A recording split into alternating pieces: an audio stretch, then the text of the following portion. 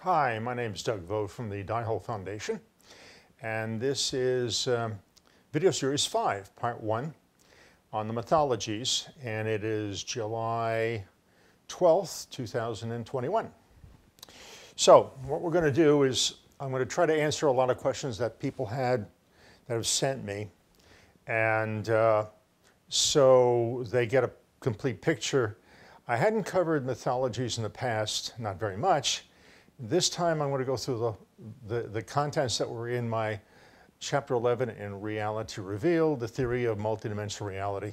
This research I did from 1971 to about 1976. Uh, anyway, so this video will answer the question of how people survived this last cataclysm, the previous one, and also the best way of surviving the next one. So uh, that's one of the main reasons for this. So it'll also answer the question of, of um, where and, and the mythologies. Re remember one thing, and that's really important. Every one of us is the result of a man and a woman that survived this last polar reversal and cataclysm. And it looks like they were mostly all in caves when they did it. So you'll understand why we're focusing on caves and the cave door. So I'm going to cover the legends of, in an organized fashion, North, Central, and South America, then Polynesia, Australia, China, Southeast Asia, then India, Middle East, and then Europe. Um, God's Judgment in chapter 8 has the, a lot of physical evidence and citations in it, about 26 pages of citations. And uh, that'll be the proof of it. Besides, it has some, some things, but it doesn't have the mythology. I didn't really focus on mythologies in this book. This is the last iteration of the theory of multidimensional reality. That is how I figured all of this stuff out, as I've mentioned in the previous videos. In other words, the philosophy has to come first before you can figure out where these phenomena fit in place. This is my first book, Reality Revealed, The Theory of Multidimensional Reality. And you can read the text of what I'm going to be going through in vectorpub.com, chapter 11. And uh, it's basically 15 bucks. Now, I think right now I haven't changed the price yet, but if you, you order real fast, it'll be before I change the price when I get done with this video. Um, but you can read all the text of it. It doesn't have any pictures in the, in the chapter anyway. So you can get a very good idea wherever your ancestors came from, what they left, and um, uh, how you got here. Uh, video series 4, part 6b, I briefly covered the psychological issues that people were having. Like, for instance, if you had a, feeling of something's wrong in your life or an impending danger, um, many of us have, many times I go outside, and when I was younger, I said, you know, something's wrong with this reality. Something isn't quite right. And I've gotten emails back from a lot of you who said you've had the same feeling throughout the entire life. I'm going to hopefully help you get through these stages of grief because I've read the, the comments on mine all the way back to uh, five, part 5D all the way to 6C where it became pretty obvious that the government knows the same stuff and what they're doing, and then it takes all fiction out of it or possibility. If they're spending trillions of dollars to save their ass, it's pretty obvious that they believe it also. So I'm going to try to, to help you, and I'm going to go through the stuff uh, briefly right now. Uh, anyway, I've watched some of the other channels, and I'm sure you know which ones I mean, that go into a disaster. They describe the cause of the disaster differently than I do. Uh, mine is different because I discovered the clock cycle because of that information theory of existence.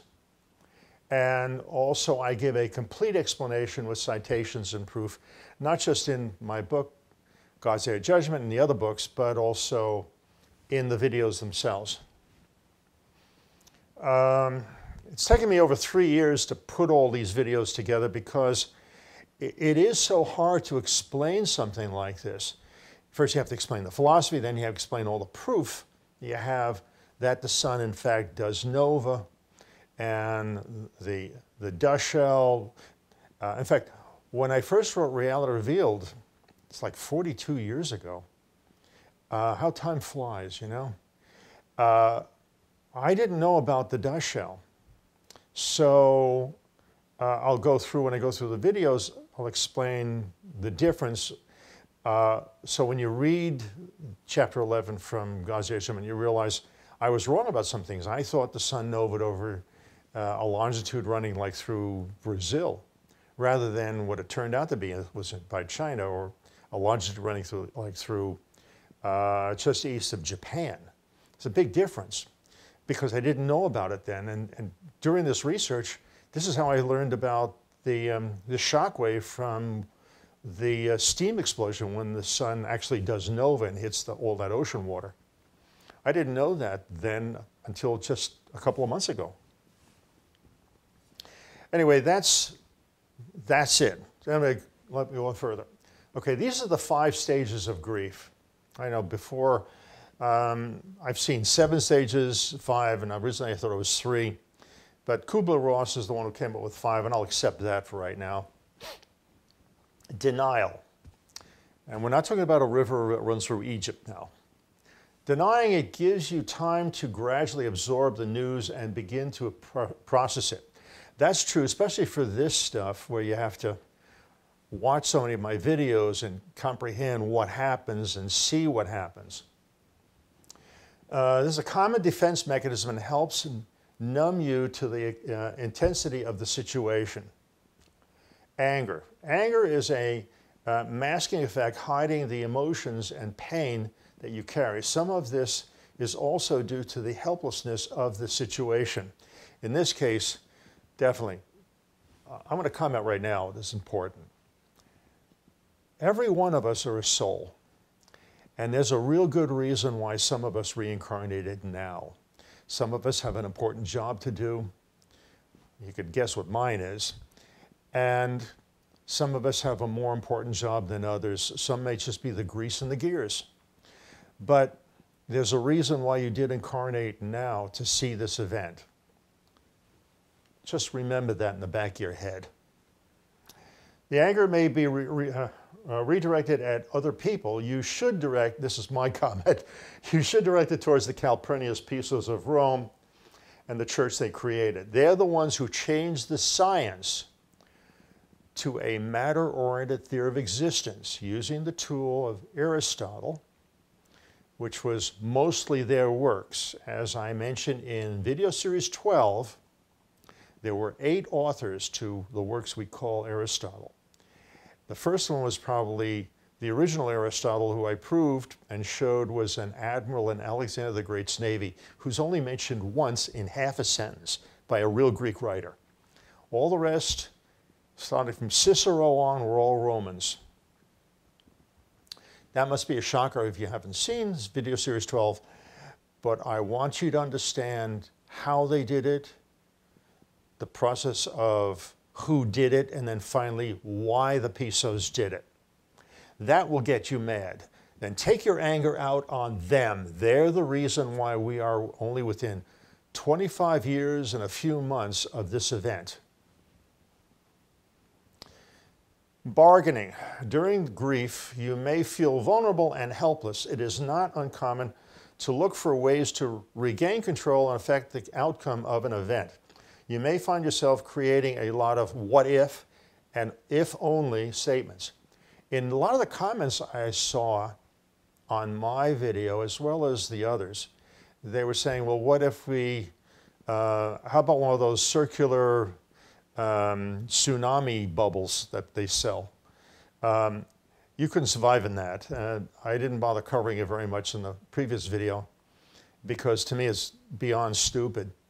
It may be fine for a tsunami, but this is totally different. This thing only happens every 12,068 years. There is no way, I mean, would you even go to the bathroom? There's not enough oxygen in those little round things. Where's the supplies for maybe a year or two years? You don't have it. You should be able to figure this thing out now on top of it. if the thing floats and you're on a wave that's going two to 400 miles an hour, what do you think happens when that wave hits a mountain? What do you think is going to happen to you inside that thing or even the structure itself? That should answer your question. So, so nobody should be sending me comments of, well, maybe I should go buy or build one of these things. Don't bother with a, a, uh, a shelter in your backyard dug down a couple of feet. That's not going to work either. Depression. Depression may feel like a quiet stage of grief. In the early stages of discovering this information, you may be uh, avoiding the emotions. You may uh, be able to embrace and work through, the, through them. In other words, you may go to working hard at something else just to forget it. In a more helpful manner, uh, you may also choose to isolate yourself from others in order to fully cope uh, with the grief and the situation. I've gotten comments from senior citizens like myself trying to tell their kids or grandkids, and they don't want to hear it at all. Now, that may just a case of a denial. This is a case where you cannot deny it.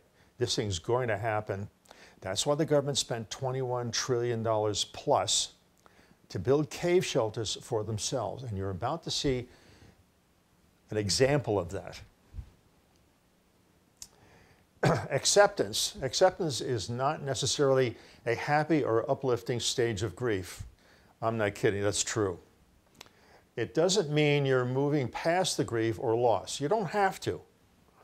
It does, however, mean that you've accepted it and have come to the understanding that it, what it means in your life now. You will look at the world and existence totally differently. You have had a major change in your life, and that change changes the way you feel and look about many important things in your life. Many people have told me after they read my book, uh, even Reality Revealed and God's Day Judgment, they look at reality totally differently. They look at life totally differently. anyway, what I'm going to try to do is if you can get through most of these stages to get to this stage and getting off your ass and actually doing something. Now, what I mean by that is you can't ignore this event. That's why it is getting warmer. Government has given us this stupid excuse global warming is due to you, your car, your hibachi, um, and you breathing CO2 because they knew as we get closer to this reversal, the sun's output is going to increase and it's going to get warmer. So they gave you, they handed you an excuse that you could be able to accept.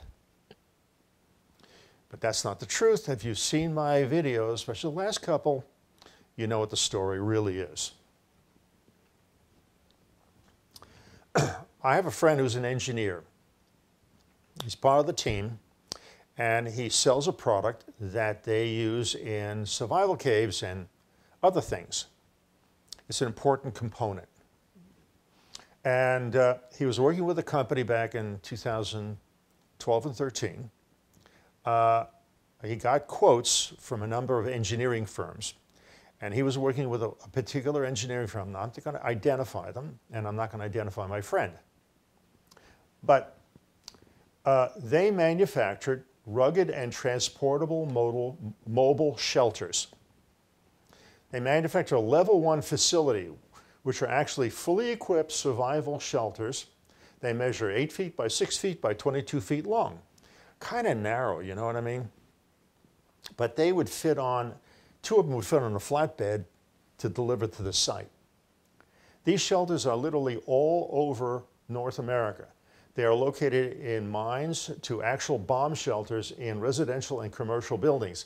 Most of them are within 50 miles of a state capital and they are totally innocuous in nature. It was where they put them in the shelters. So, so you, the general public, even though you paid for it, don't know where they are. Okay, the engineering firms were told they weren't told the truth. Remember I told you in the very beginning of my, of my series, series one and series four, that this is the greatest secret the country had. Thanks to me, it's no longer a great secret. So this is what, a summary of what the engineers were told for the purpose of these cave shelters. 19, in 1859, Carrington event uh, became the main focus of discussion for the engineers. Government officials were briefed that society would collapse if the sun emitted a coronal mass ejection, a CME, similar to the one that destroyed telegraph lines and transformers in 1859. They didn't exactly destroy the lines. They burned in some places. I don't even know if they had transformers in those days. But uh, life went on and they just went after, after the thing was over with, they just replaced whatever they had to and life was normal.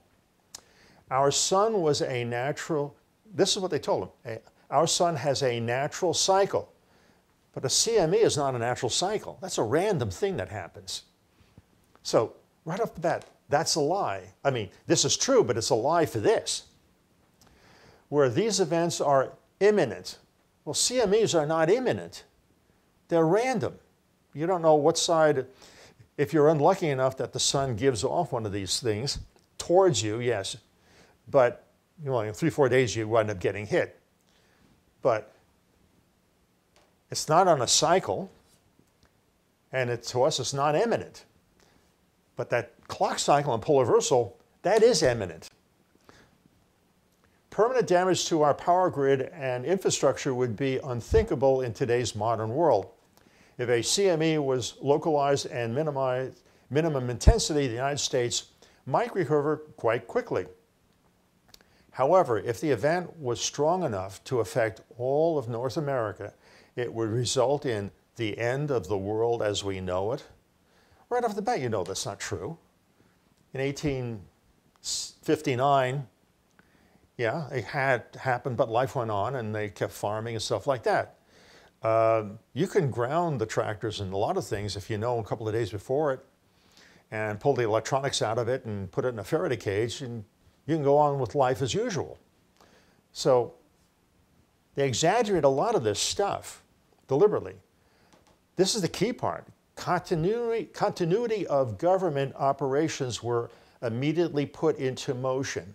This may be one of the reasons why they went after Trump, actually you'll know exactly why. You'll see one more proof, like I showed in one of the earlier videos. I think it was part, part uh, five in series four. anyway, uh, if this was remotely true, then wouldn't they have spent the trillions of dollars on hardening the transformers, the, the uh, substations, the power generating stations? No, they didn't. Until Trump came around, then they appropriated money to harden those things. So here they say it's going to ruin the electric grid and stuff like that, but they spend no money on hardening it from a, a CME, which tells you right off the bat they're lying. They're really building these things for something, a totally different event, which has a natural clock cycle and is imminent. Now, this stuff was, well, let me go on further, you'll see. Uh, February 1st, 2013, he was told by people in the project, this is from the engineering company, if you wake up some morning and all the politicians in DC have vanished, it's time to kiss your ass goodbye. You can interpret that any way you wish. At the time, my friend had no idea what they were talking about, but thanks to my work, my videos, he now, know, he now understands. That's why he's working with us. Code words are used to alert the politicians by an email transmission to occupy the shelters ASAP. And the code words, taking up a new hobby. If you want to have some fun with the politicians, both obviously in your state as well as federal government especially, why don't you just send them a nice one line note um, and see what they do? That'll be interesting. one of the engineers he made friends with uh, once told him, quote, I'd love to drop by, by, but my wife has, some, has me taking up a new hobby this weekend, meaning he had to go to work on the K project. you can have some fun with this. And believe me, this is one case you should have fun with this. Use the expression and torture them. Let them know the American people are beginning to know. Now, this is where I'm going to get into Trump. This is where he had his contract with them in these years. And this is spending for that company. This is the one he was working with. And this is millions of dollars. And so my book, God's Day Judgment, is when I came up with the, I had the date of when this thing was going to happen. And I think I figured out what side of the earth is going to be facing when it happened. So all of a sudden, the spending starts going up. The demand, this is all government contract. Federal, federal contract awards, federal contract sub-awards is a little green area. But they had direct contracts from the government for these shelters. Now, he was working here and here, so it was a lot. Then went down, went up to 15, went down a little bit here. They must have gotten done with most of it. Remember, the work that they, Congress appropriated six or seven hundred million dollars for the visitor center underneath the Capitol. It was about in 2010 or 11. So they were spending on a lot of these, these shelters, pre-done shelters. So the presidential election was 2016. Now, the budget for 2017 is passed in 2016. Trump takes over, over in 2017, but he's responsible for the budget in this, for 17, that controls 18. And look what happened. The price for the shelters went down to nothing. Like I said in the earlier videos, uh, part 5, 5H or I, when I was talking about Trump and the executive orders, uh, they did not tell Trump about this, these, these shelters. He undid the um, executive order from Obama, who in turn was adding stuff to other executive orders, and they never told him. And that's why they turned, the bureaucracy turned against them, because it, it, it prevented them from finishing off these shelters to save their ass. This is, you know, back to the five points of, of grief. The part about anger, this is where you could be angry, okay? And you know how to take it out of. Okay, now we'll get to the mythologies. Now, I went through my chapter 11 in Reality Revealed, and I categorized the different things so you could see which legends talk about which events that happen. The ones that are in red here are ones that I, I set, felt knew more than the others. They had more of the components of what happens. Now, these are the ones who mention caves. Now, this is North America. And here's the ones who mentioned the sun noving or what it looked like before and after. Some of their legends, not just in the Americas, but also in South America and in, in uh, India and others, they have, one of their legends are basically, you'll have a male and a female, or two characters and they fight with each other. And those are actually represent the old sun and then the new sun. And the new sun, like here, is a new sun, is a red sun. And two suns here, they mention yellow after, yellow sun, and then after a red sun, which is a cooler sun. But gives you an idea. These represented where they mention where the sun either the sun stopped in the sky, which means the rota rotation of the Earth stopped.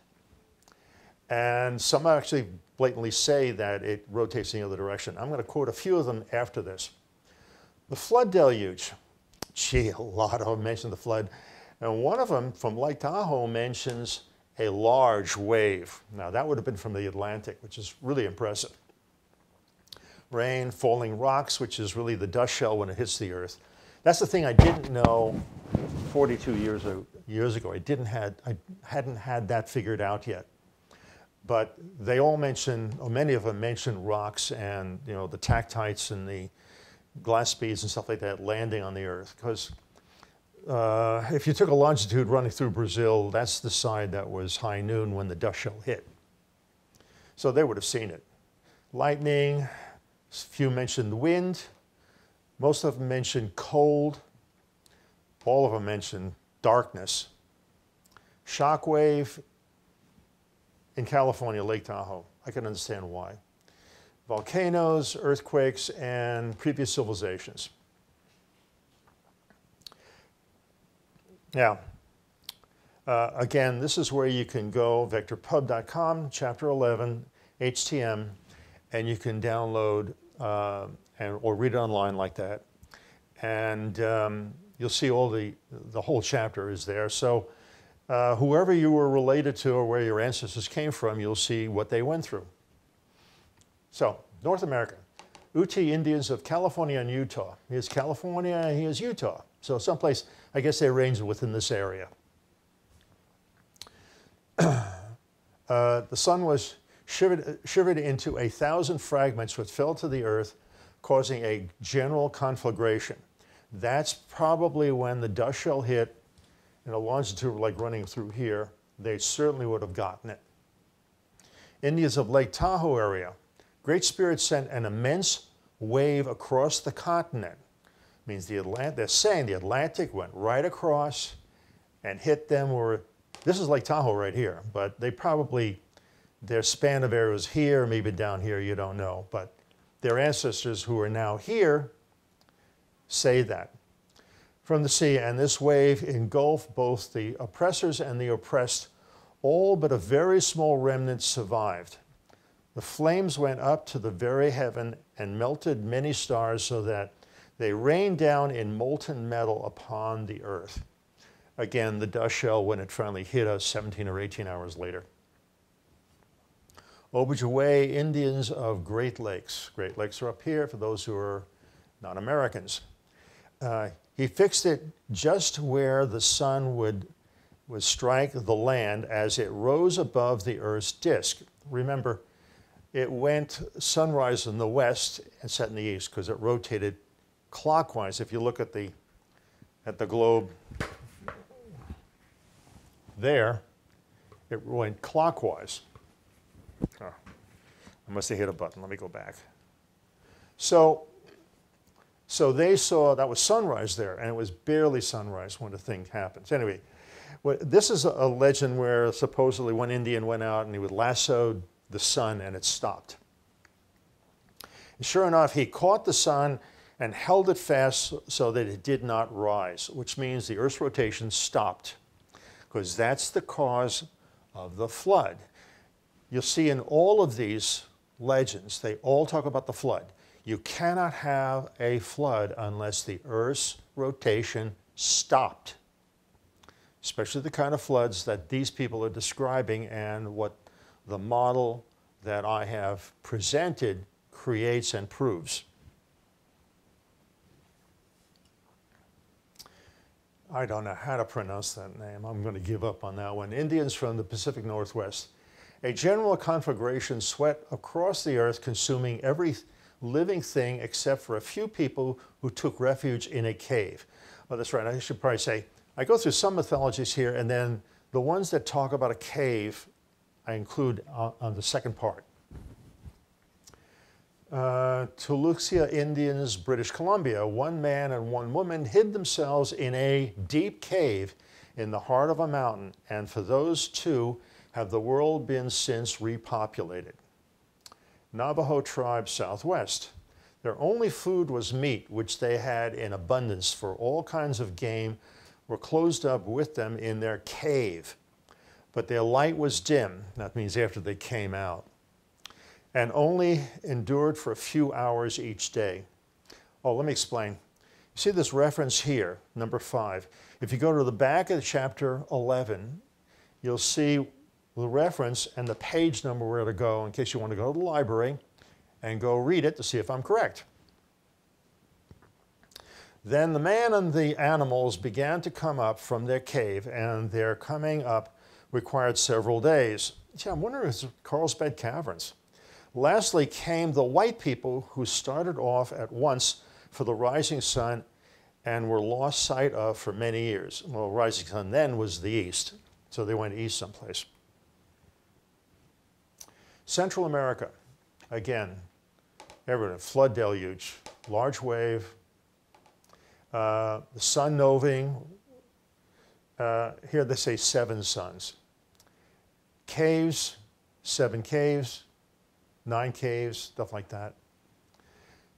Uh, cold, darkness, the shock wave, more of them, because they were by the coast, and this shock wave would have been like right over around Australia, north of New Zealand, and as, as long as whenever that sun novaed, the heat, two or 3,000 degrees hitting on water, immediately creates a steam explosion, and that's the shock wave. Many of them talk about a previous civilization. So three previous civilizations, three of them here, four previous civilizations. Mayans. The earth had been destroyed three previous times. An inundation which swept across the world swallowed all things in its mountainous surges. That was the case of the Gulf of Mexico and then later the Atlantic coming over Mexico and Central America. And there's the reference for it. The inundation of the trees for all the forests were swept away. At the close of the ages, it has been decreed, shall perish and vanish each weak god of man, and the world shall be purged with a ravaging fire. I've seen this expression in three other places. It basically comes to all a man's false gods pass away. You now know two of them, which are going to go pass away. Pago and the Pimas tribe of South, Southern California. then, in the twinkle of an eye, there came a peal of thunder and an awful crash. That's the shock wave. I had no problem hearing it and a green mound of water reared itself over the plain. It seemed to stand upright for a second, then cut increasing by the lightning, gored by uh, on like a great beast. So Pacific Ocean, I mean, the Gulf of Mexico was rushing this way, and they saw it. This is actually pretty deep, the Gulf. It's about uh, one and a half or two miles deep. From a box produced uh, deafening explosions, again, the shock wave. He dumped out red hot stones, fire and lava whirled down. Uh, yes, the volcanoes were going off, but I think this is really referring to uh, when the dust shell hit the place. A lot of the legends, you don't know what time period each one of the events did happen. But he, the sun, moved not. You know, again, reporting the sun stood still, which means the Earth's rotation stopped. That's what causes the flood. There he lay on the horizon, and it would be western horizon. That's where the sun rose before it. It stopped. It was just actually for them just before sunrise. Now there had been no sun in existence for many years. We don't know how many years. We don't see much of a sun. There'll be a lot of clouds, maybe a little bit. It's like Living in Seattle in December at about 4.30 or 5 at night, that's probably what it looks like. Central America legends. Quiche Indians, they, the common people, tried to climb the trees and the trees shook them off their branches. Translation, horrible earthquake.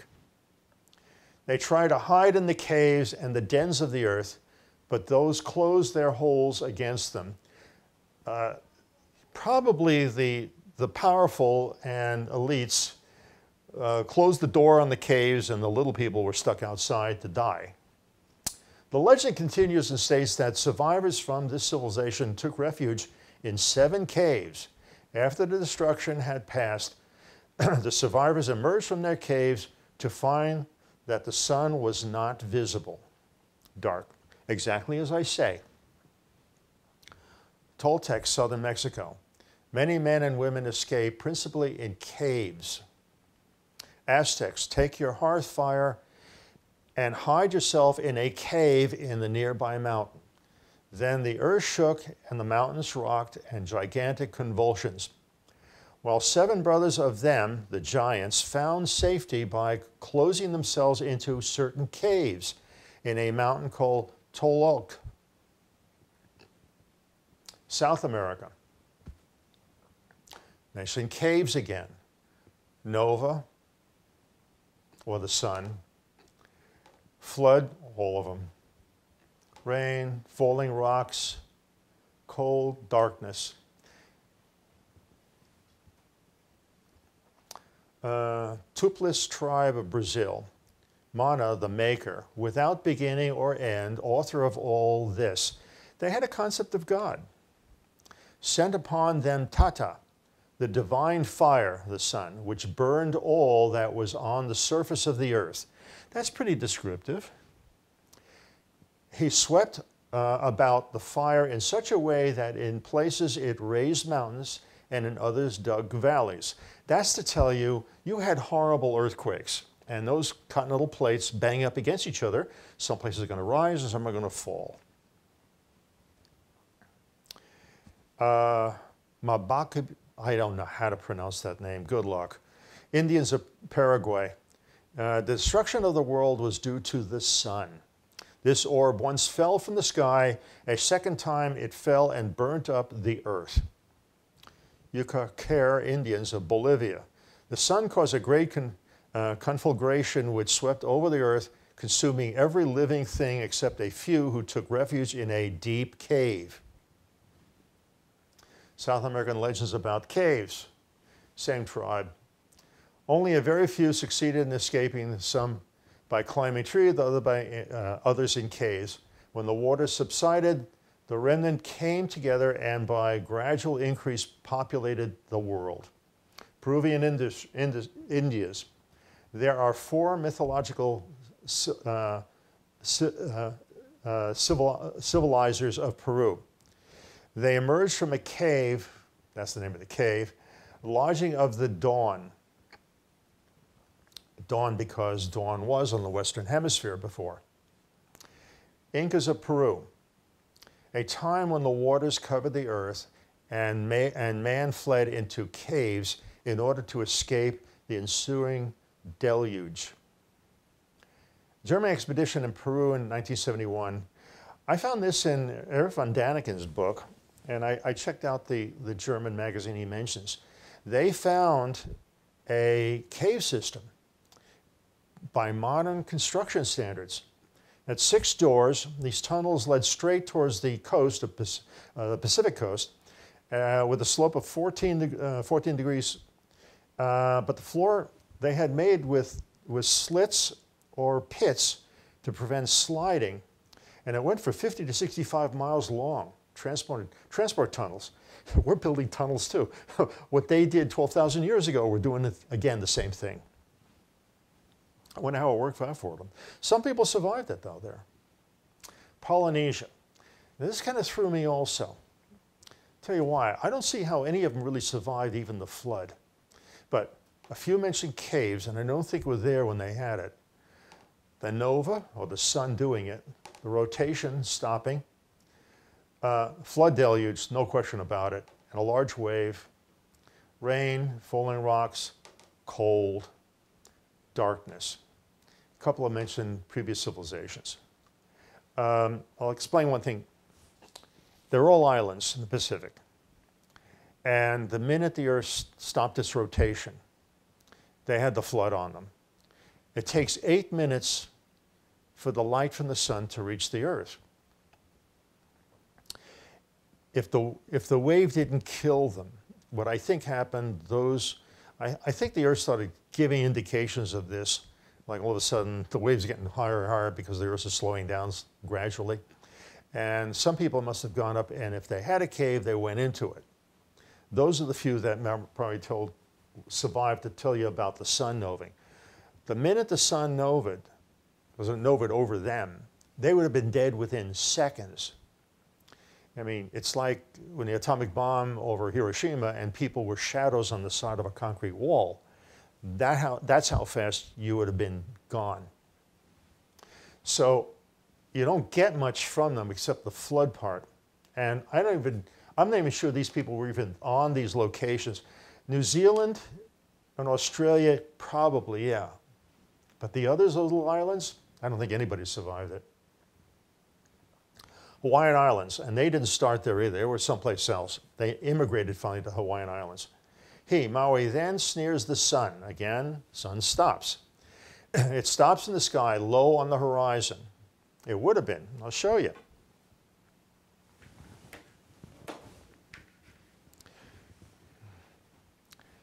This is where I think the longitude where the sun nova, right about here. If you look, Hawaii is there. It would have been low on the horizon, exactly as the legend says. Same thing is true for the Babylonian ones I'll show you in a second. Uh, Pele, the fire goddess, the sun, once lived far to the southwest. I even tell you it was in the west. The sun rose in the west, which tells you the Earth stopped its rotation and went the other way. Now, if you look at the, north, at the North Pole, it's, we're running counterclockwise. Samoa Islands. In days of old, the heavens fell down and people had to crawl about uh, like the lower animals. I'll explain why. There's two reasons why. One, when this sun novaed, there's a tremendous amount of evaporation and steam. And it, the clouds and the steam had been so low to the ground, they had to crawl on the ground.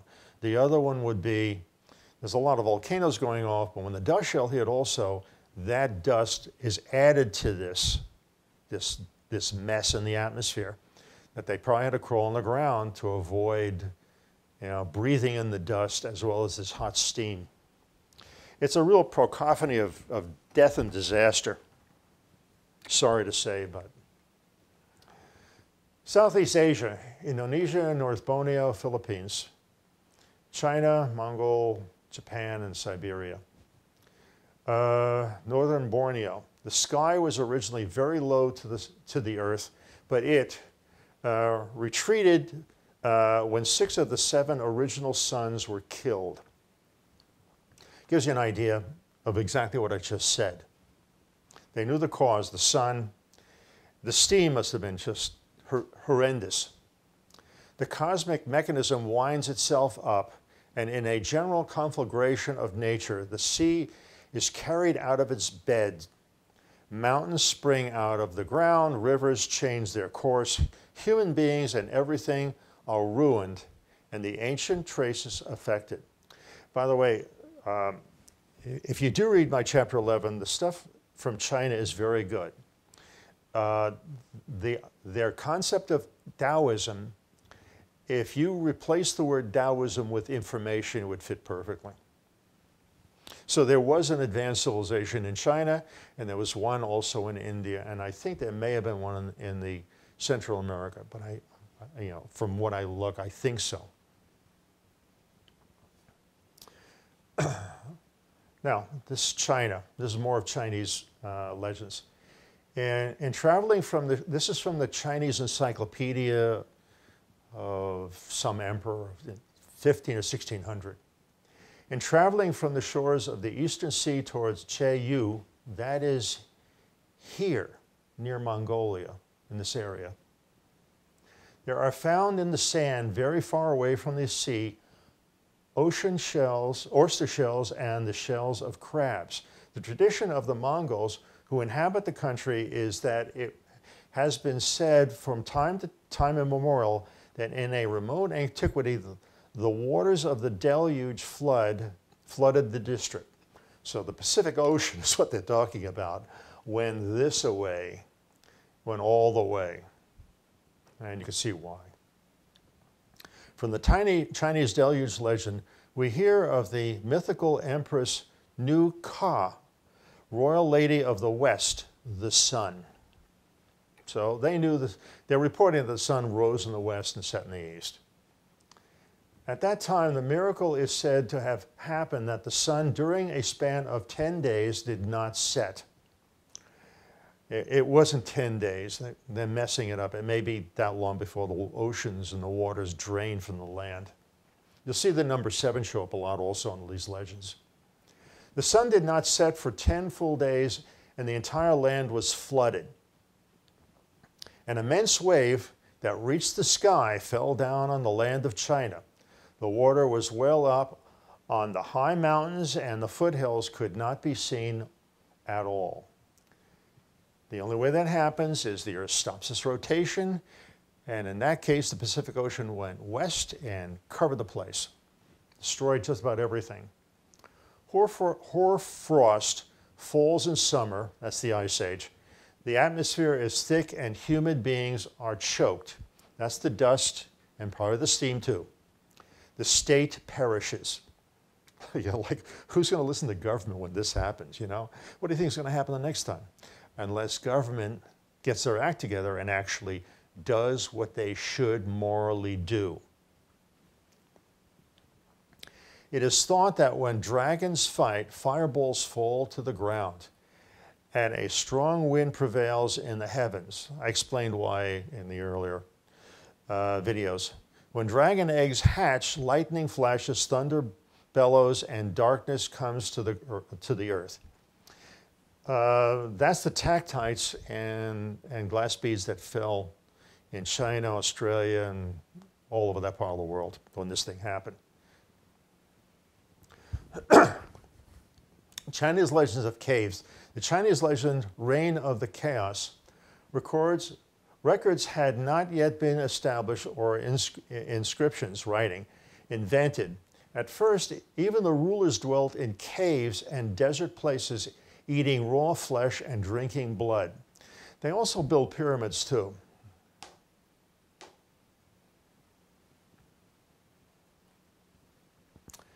Asia, India, Babylon, Iran, Hebrews. Well, we'll do India. Also very rich in, in information about this cataclysm. A full thousand of such cycles constitute a day of Brahma. At the end of each day of Brahma comes universal destruction. There are three destruct, uh, destructions the destruction by water, the destruction by fire, the destruction by wind. I'll correct them. All three happen at the same time. Depends on what side of the earth you're on and how fast the sun comes around to cook you. Remember, the sun, what we learned, what we all learned from my last and two previous videos, is giving off this heat for, it looks like at least 100 days. So the Earth is rotating, so everybody gets a chance to enjoy it. Um, the Hindu book Vedanta Sutra also tells us all contradictions to truth pass away. And those, the same thing, all man's false gods pass away. In the Brahmin literature in Rik verses, the Rik verses, there are 12,000 verses. Each one represents a year. So they kind of knew us around 12,000 years. And many of them mentioned it also. Uh, India and Babylon and the Chinese also in fun of, kind of a funny way. My, my impression is, is they didn't figure out the exact number of years. And I, figured, I, I realized that by reading all these legends, even the rich and powerful didn't know exactly when this thing was going to happen. Uh, by some fluke of, of um, chance, um, we were given that number. Um, by sheer luck, 12 astronomers uh, decided to map uh, the distance of a bunch of stars, and I, I, was able to find the six blank periods of space, and four of the six were 12,068 light years apart. And God, courtesy of Moses writing it down, put the number 12,068 embedded in the Torah, as I showed clearly. If you haven't seen I think it's video series six on Moses 10 code systems. Part two goes into that, and part seven is God's code system, using the same number. I, uh, let me see. Uh, okay. Here's India, and look at the depth of the oceans on both sides, but they aren't that big, but that does a lot of damage. In the Hindu book, uh, Prajna Upani, I can't pronounce it, forget it. It is told that in the past the sun rose in the west and set in the east. Gee, what have I been saying? Now, Adulita, the sun, when he rises, goes towards the east. And as he rises in the west and sets in the east, and thus receives the eastern spirit into his rays. Hindu book Avatar Now you know where they got the name for the movie. By the power of God, there issues from the essence of Brahma a being shaped like a boar. By the way, this is about the best description of what that sun looked like when it novaed, which proves that the sun did nova on that side of the earth and India had a chance to enjoy it. Anyway, uh, being the shape of a boar, white and exceedingly small, the sun. This being in the, the space of an hour drew to the size of an elephant of the largest size. That's the sun when it novas. That, that gets your attention real fast. And, and remain, remained in the air. Uh, when that, Vera, the sun, suddenly uttered a sound like the loudest, loudest thunder, and the echo reverberated and shook all quarters of the universe. That is the shock wave from the Pacific. And but, but keep in mind also, it novas over here, and Earth stops its rotation. And then guess what? Reverse direction. So this sun is going to evaporate water for the Indian Ocean. It goes on like this. We just don't know how much of a spike it is, but for the first 24 hours, you're probably already here. It's basically cooking, cooking away, evaporating a lot of ocean water. The worst part is where it actually does nova. For however many hours it sits still, I think it's seven to eight hours is what my, my educated guess is. Um, they go on further. What the sun looked like when it novaed.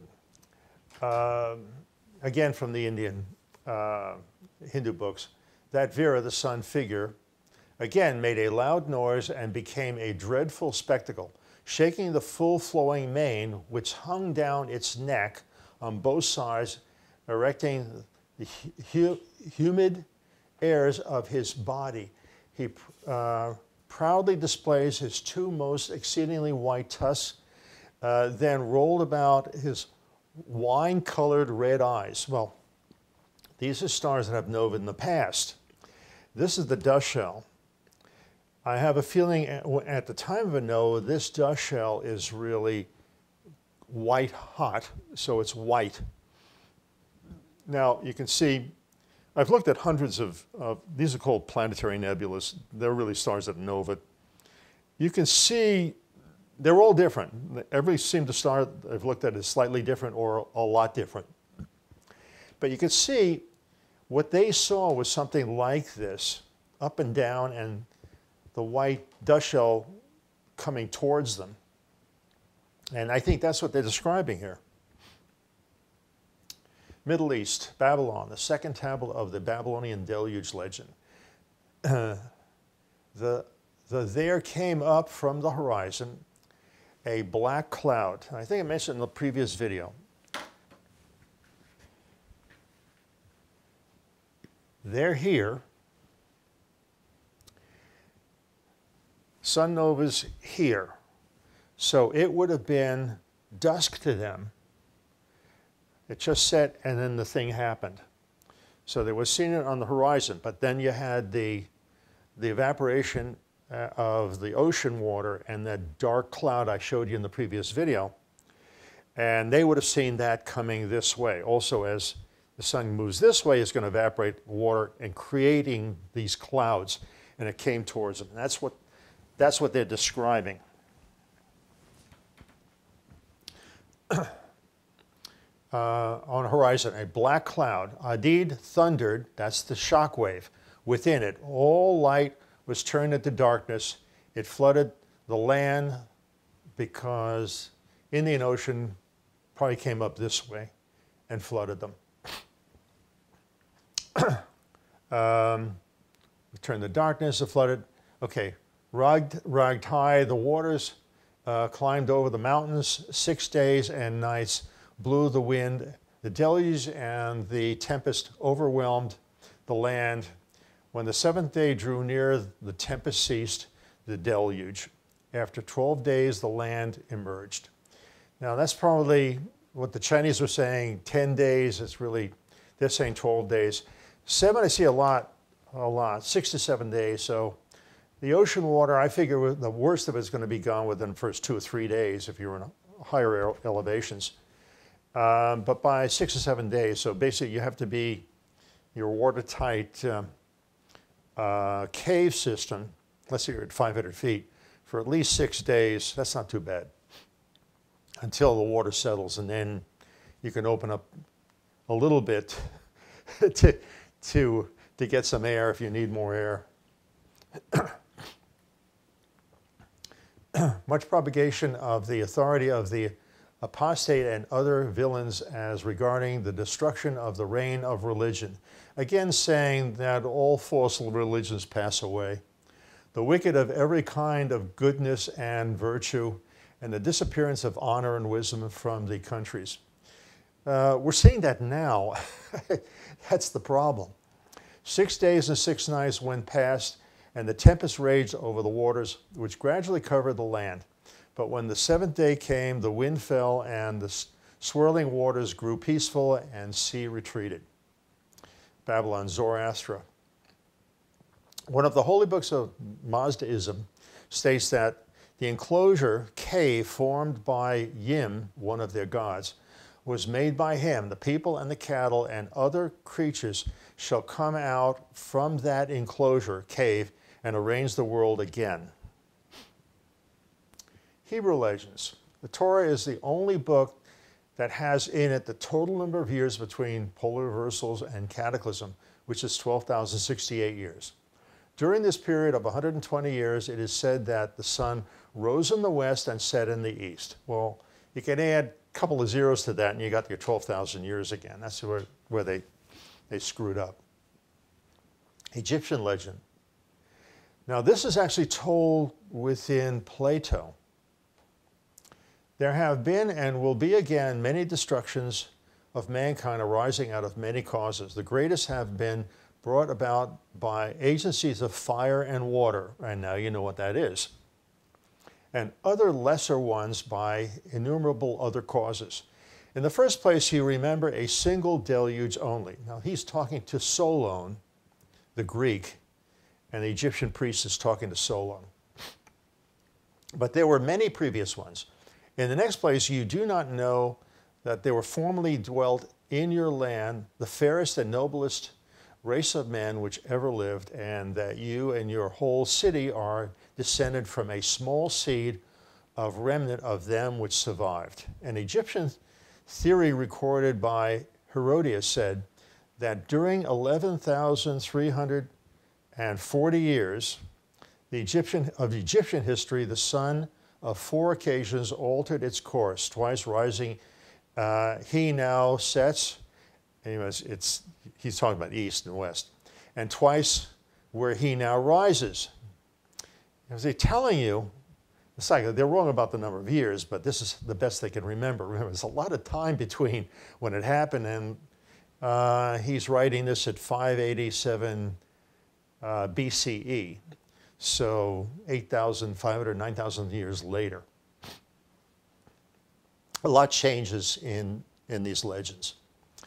Um, but anyway, you can see they, they know something that the, the sun changes direction. It's really the Earth stops its rotation and goes in the other direction. Europe, this is the last of it, by the way. The Nordics and the Britons mentioned caves.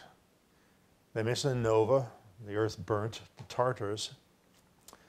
All of them, the flood, large wave, rain, rocks, wind, southern cold, uh, sudden cold, in fact, the ocean freezing. the Nordics say that it froze.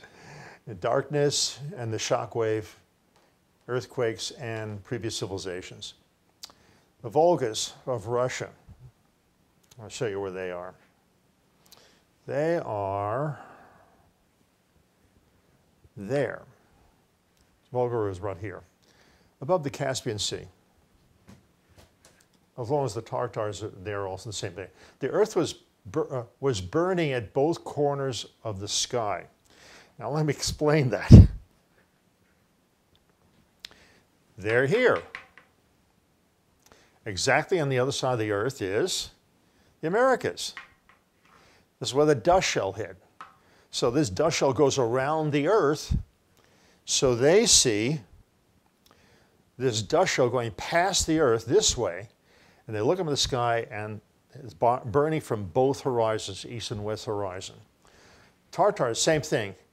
At this time, the whole world was turned red. Fire and flame surrounded the earth and rose to the heavens. Same thing. They're here. On the other side is the Americas.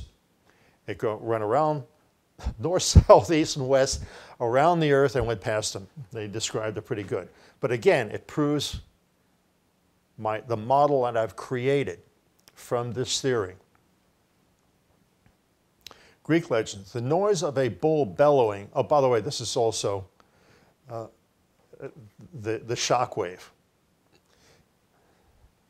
Uh, the noise of a, a, bull bellowing aloud in proud, uh, ungovernable fury, that must be the shock wave.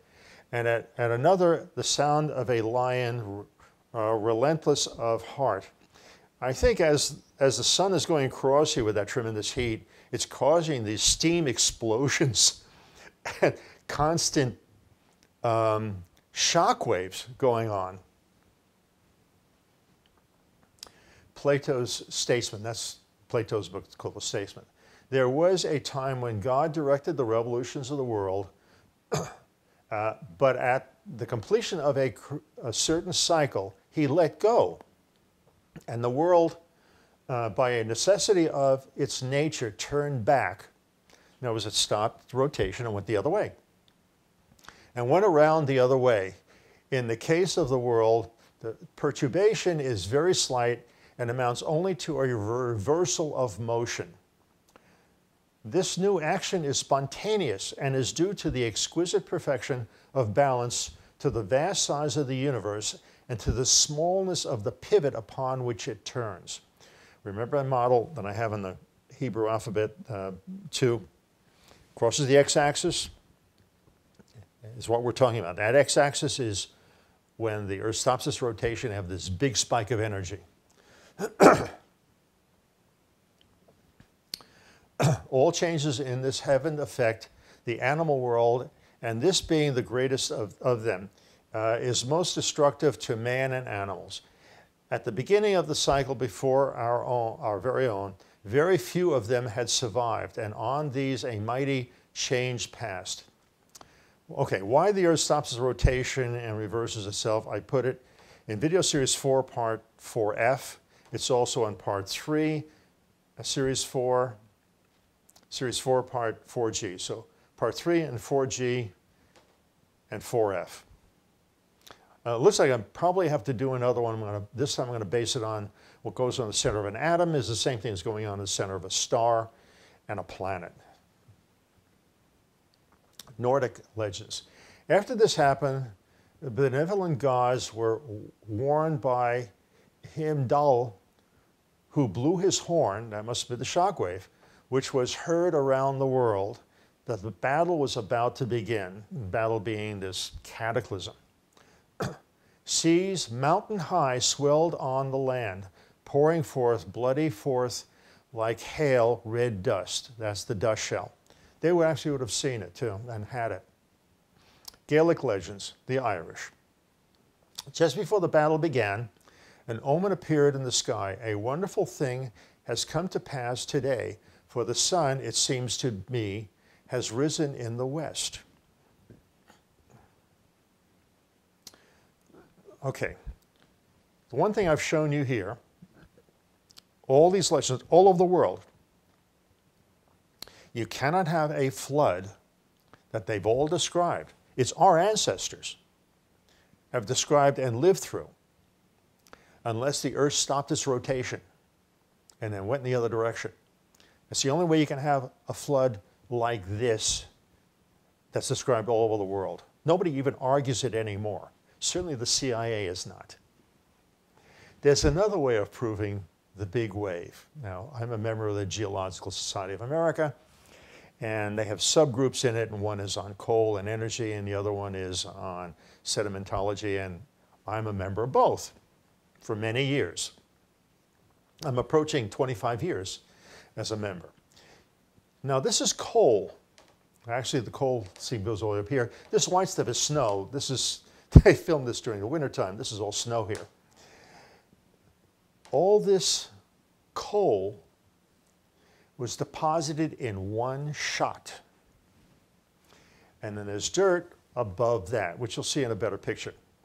Now, I'm going to tell you the formula for not just peat moss, that's a, even a higher, for wood and stuff like that turns to charcoal. And there's a formula for the whole thing, but it comes out to about 10 to 1. So if you have 90 feet of coal, you got 900 feet of organic material. Now, imagine 900 feet of wood and forest material. It first gets burned, It's burning because the sun just novaed over the thing. And then a few hours later, the ocean reaches it. And when you have an ocean that's rushing at two to 400 miles an hour, it's going to snap a big tree, small trees, uh, like it's a twig, like nothing, just rip it off. And since wood floats, it's going to come to the top of this wave or inside of it. And as the wave slows down and it hits a mountain range, it's going to deposit some of that. That's what happened here. This is Wyoming, by the way. Oh, no, sorry. This is the Colorado seam, which is the foothills of the Rockies. Here's another one. This is the uh, Powder River Basin, Wyoming. We, we produce the most amount of coal there in that state. And it's from here all the way up to there. This is, in some places, it's 200 feet thick. So that would be a forest or trees and organic material that's 2,000 feet thick. Do you understand? And it's deposited in one shot. Now you understand, now this is probably deposited when Cretaceous and Jurassic period, or maybe even before uh, Jurassic, where the Earth was closer to the sun, it was warmer, it was more humid, more rain because it was more ocean, more water, and there was a lot of plant life. There's a reason why those dinosaurs were so big. They had a lot to eat. Here's a good example of, here's your coal, here's the overburden that these, these steam shovels here, they're like 50, 70 feet high. Gives you an idea what they're digging out. And this is the coal mine. There's more to it. This was deposited in one shot. The reason why you don't see too many layers, sedimentary layers above is because after this happened and, and it burned, there was no more forest there. That's why the plain states are more or less doesn't have much of a forest. It's just plains, grasslands.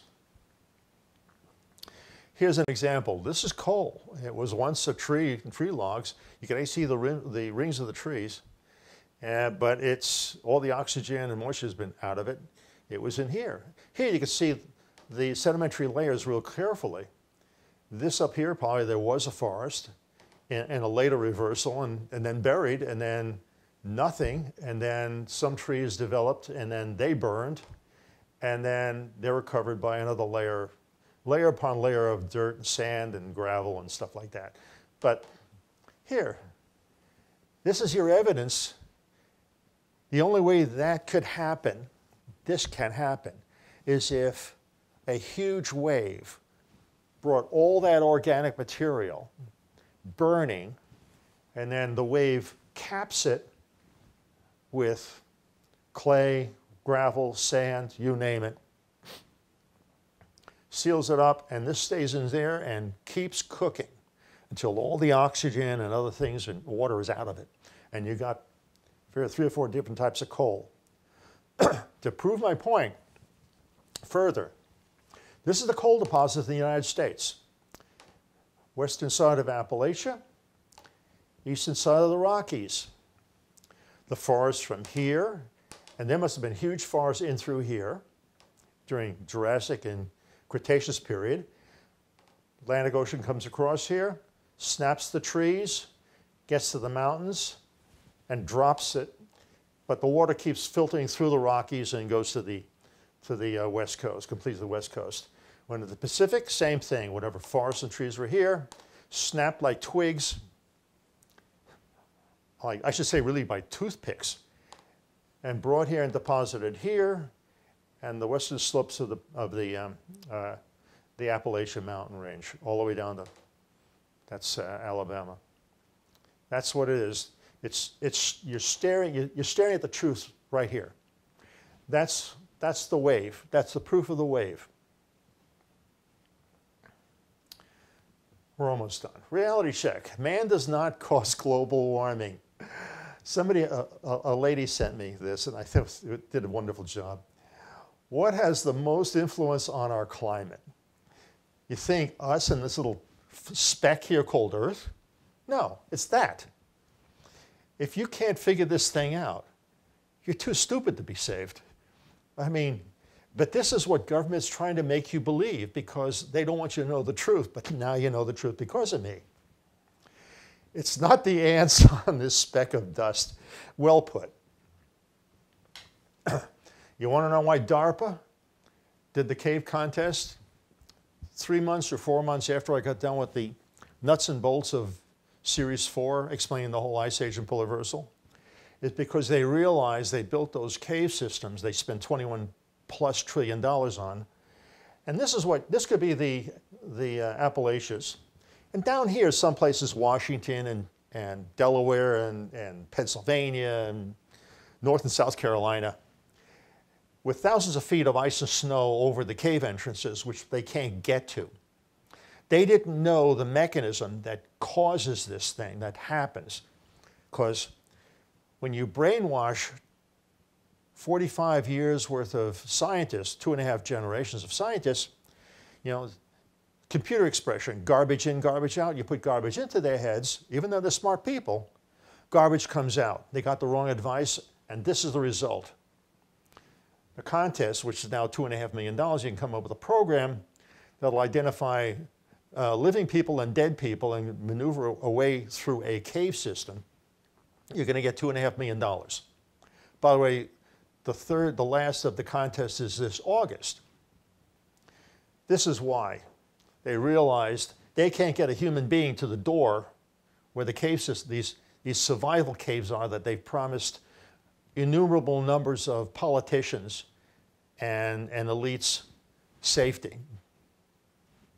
The world's most expensive tombs.